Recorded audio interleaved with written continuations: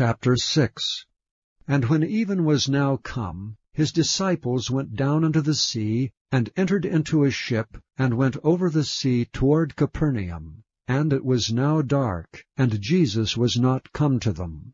And the sea arose by reason of a great wind that blew. So when they had rowed about five and twenty or thirty furlongs, they see Jesus walking on the sea, and drawing nigh unto the ship, and they were afraid. But he saith unto them, It is I, be not afraid. Then they willingly received him into the ship, and immediately the ship was at the land whither they went. The day following, when the people which stood on the other side of the sea saw that there was none other boat there, save that one whereinto his disciples were entered, and that Jesus went not with his disciples into the boat, but that his disciples were gone away alone, Howbeit there came other boats from Tiberias nigh unto the place where they did eat bread after that the Lord had given thanks.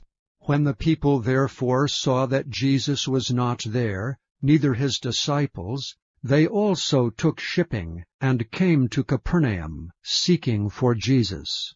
And when they had found him on the other side of the sea, they said unto him, Rabbi, when camest thou hither?